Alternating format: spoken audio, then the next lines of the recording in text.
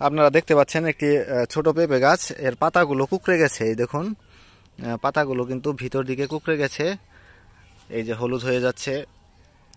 তো উপর থেকে দেখে কিন্তু এটা বোঝার উপায় নেই যে এটাতে কি সমস্যা হয়েছে।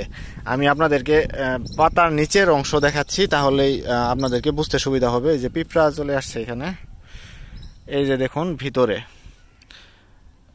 ভিতরের পাটে সাদা সাদা দাগ হয়ে গেছে পাউডারের মতো।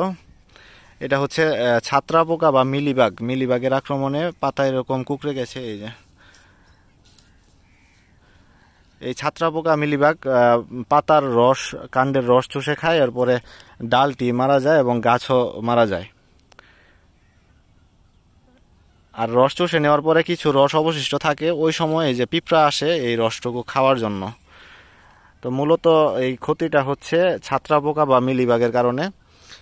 আপনার বাসায় যদি পেঁপে গাছ থাকে, আপনারা খেয়াল করে দেখবেন এরকম পাতার নিচে সাদা পাউডারের মতো হয়ে গেছে কিনা।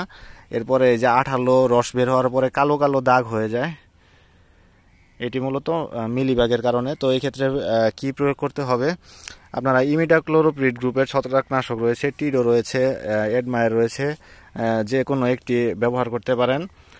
দশ মিলি লিটার ওষুধ দশ লিটার পানিতে মিশিয়ে পাঁচ শতাংশ জায়গায় স্প্রে করে দিতে পারবেন।